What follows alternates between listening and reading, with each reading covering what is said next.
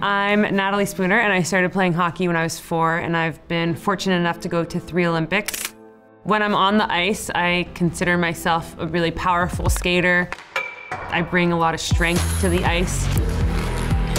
And I feel the same when I'm on my Ryker. The machine has power, and you just feel strong out on the roads, and like you could conquer any road you wanted.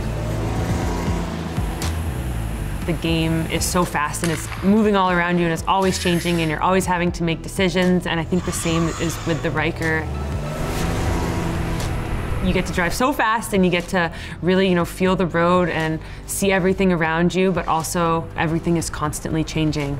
Every time I get on my Ryker, it's a new experience one of our main goals as female hockey players is to make hockey more inclusive and I think we've seen the growth in you know female hockey and just how far the sport has come and it's the same with Rykers to grow the community to get people from everywhere and anywhere involved. I would love to see more females riding their Rykers out there and to just to grow that community. My name's Natalie Spooner. I'm a hockey player, an Olympian, and I'm a rider.